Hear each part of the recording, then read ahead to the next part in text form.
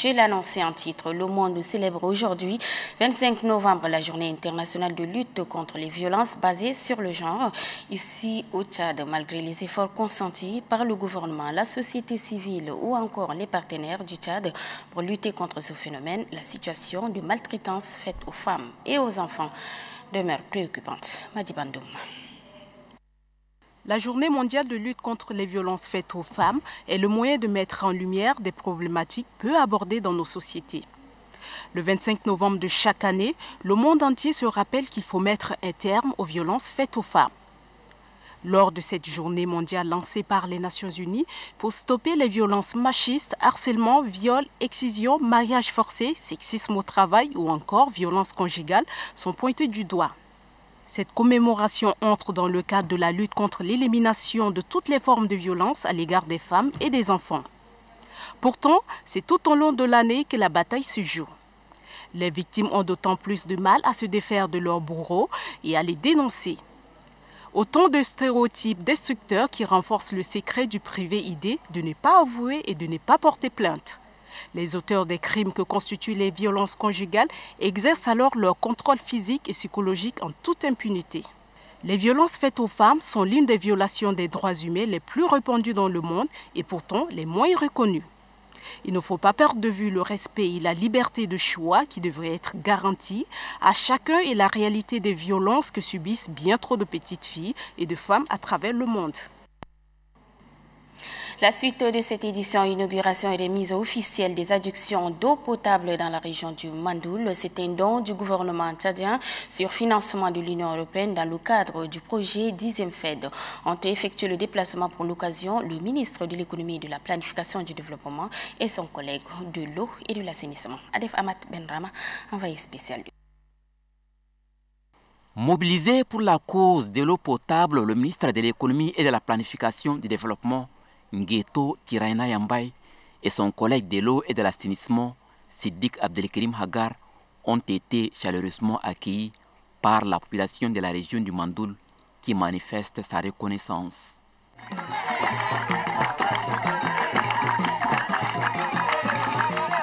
C'est dans le village d'Engombe qu'il a été procédé à l'inauguration et à la remise officielle de 21 addictions d'eau potable dans la région du Mandoul. Fruit de la coopération Tchad-Union européenne, ces adductions couvrent les localités de Ngombe, Sewe et de Doyou. Il s'agit d'un système multiforage qui peut desservir tous les villages environnants, a relevé le coordonnateur du projet d'accès à l'eau potable et à l'assainissement, Daondarial Moussa. Le coordonnateur du programme d'appui à l'ordonnateur national, Dr Mohamed Ahmad Abdraman, lui se réjouit de l'exécution des travaux suivant les clauses contractuelles et surtout par une entreprise nationale. Par la voix de son gouverneur, la population de la région du Mandoul ne cache pas sa reconnaissance. C'est ici le lieu de remercier une fois de plus, au nom de la population du Mandoul, les plus hautes autorités pour avoir pensé à notre région en l'inscrivant comme région bénéficiaire de ce projet. Le ministre des tutelles a quant à lui rappelé la politique du gouvernement en matière d'accès à l'eau potable. L'eau sera bien. Le chef de l'État ne s'est pas trompé. Il a pris l'engagement ferme devant la population. Les populations tchadiennes qui n'ont accès à l'eau potable qu'à 53% en termes de taux d'accès, L'appui constant de l'Union européenne a été salué par le ministre de l'économie et de la planification du développement, ordonnateur national. Je voudrais ensuite saluer ici la coopération agissante existant entre la République du Tchad et l'Union européenne, coopération qui a permis de mettre en œuvre ce projet. Les 21 addictions d'eau potable que nous inaugurons aujourd'hui sont une partie des 280 addictions d'eau potable et en train d'être réalisées dans les sept régions de la zone d'intervention. Pour la pérennité de ces addictions d'eau, la population bénéficiaire a été appelée à une gestion efficiente. Le secrétaire d'État à l'enseignement supérieur et à l'innovation, Dr Hissène Massa Hissène, a eu une séance de rencontre euh, cet après-midi avec 34 étudiants boursiers dans les différentes facultés de l'université Al-Zarqa de Jordanie, rencontre au cours de laquelle des conseils ont été prodigués à ces derniers. Moussa Abdoulaye.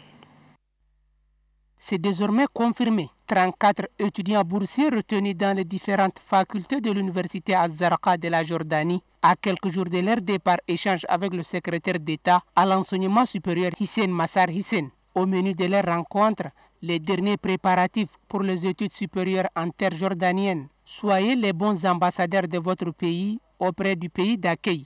Soyez persévérants dans vos études afin de vous rendre utile à votre pays, a-t-il conseillé. Pour Hissène Massar Hissène, la jeunesse a un rôle important à jouer en matière de développement du pays aux côtés des autres composantes de la société. Des conseils bien perçus par les boursiers. Le voyage des 34 étudiants en terre jordanienne est prévu pour le jeudi prochain. Le facilitateur en chef de l'association tchadienne pour l'étude de la population en abrégé ADEP, Nassour Gelenduxia Waidou, a fait un point de presse ce samedi pour présenter l'examen stratégique national dénommé Fin Zéro au Tchad d'ici 2030. Je vous propose de suivre un extrait de ces propos.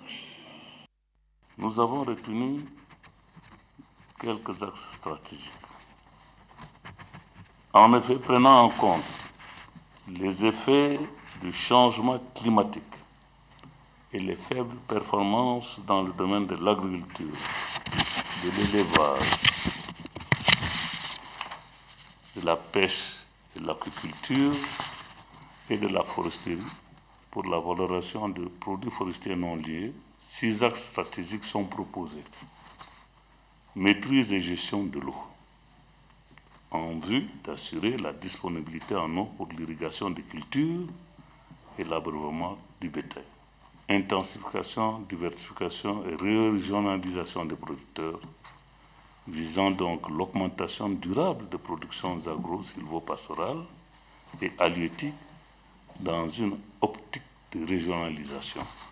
Promotion et compétitivité des filières par le renforcement des capacités des acteurs clés en privilégiant le développement d'une approche chaîne de valeur gestion des crises et renforcement de la résilience des populations vulnérables, permettant d'une part d'anticiper les crises alimentaires et nutritionnelles de manière à limiter au maximum l'ampleur et à optimiser la gestion, promotion de l'emploi des jeunes et autonomisation de la femme rurale.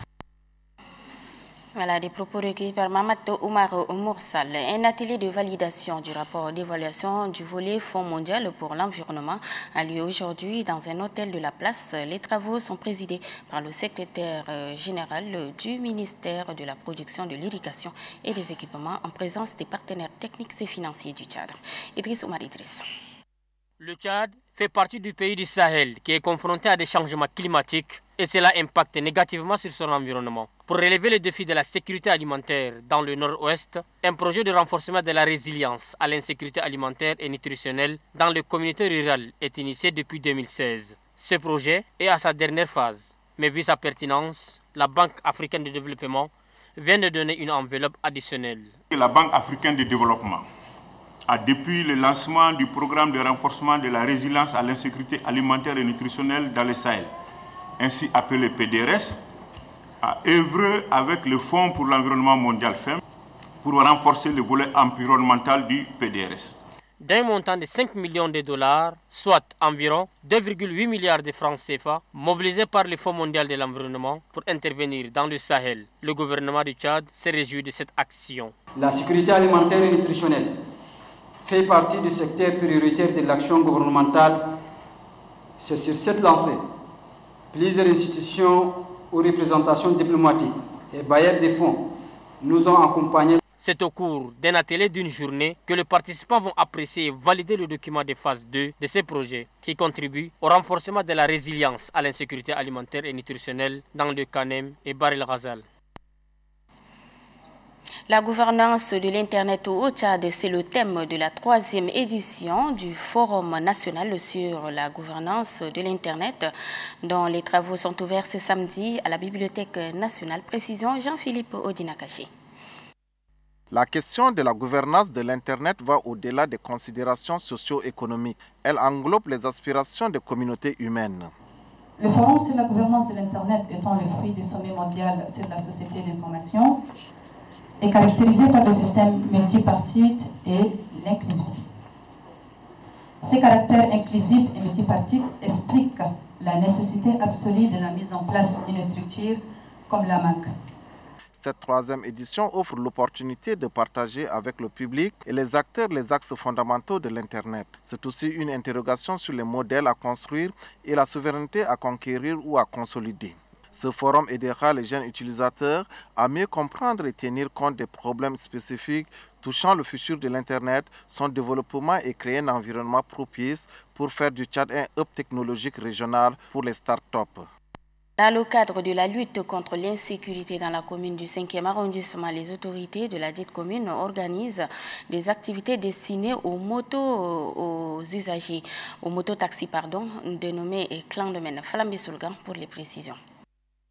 Suite aux instructions données par la délégation générale du gouvernement auprès de la commune d'Njamena sur la réglementation des mototaxis dans la capitale, les autorités communales du 5e arrondissement organisent l'activité de ces mototaxis dans leur commune. La commission a, euh, a, recensé plus de 300 motos qui ont accepté euh, de respecter les instructions qui ont été données par la mairie du 5e arrondissement.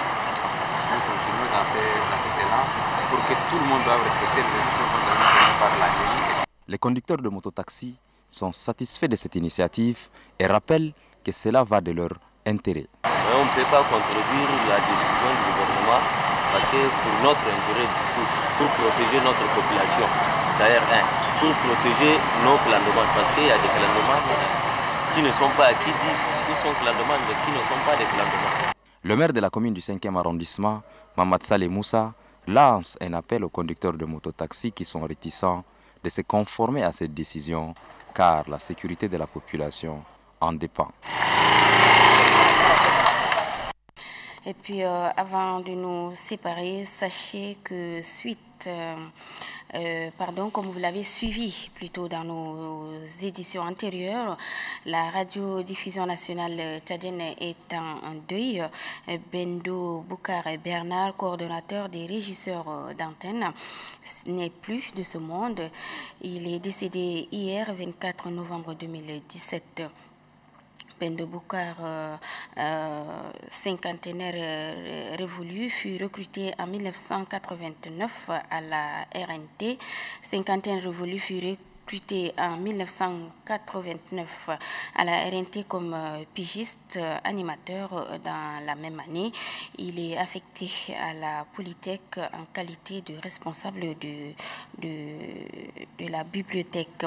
En 1992, Bendo arrive au service des programmes comme régisseur d'antenne, puis en 2001 jusqu'à son dernier jour. Le défunt est coordonnateur des régisseurs d'antenne. Euh, tout le personnel de la radiodiffusion nationale tchadienne et celui de la télévision nationale tchadienne présente ses sincères condoléances à la famille éplorée. Paix à son âme.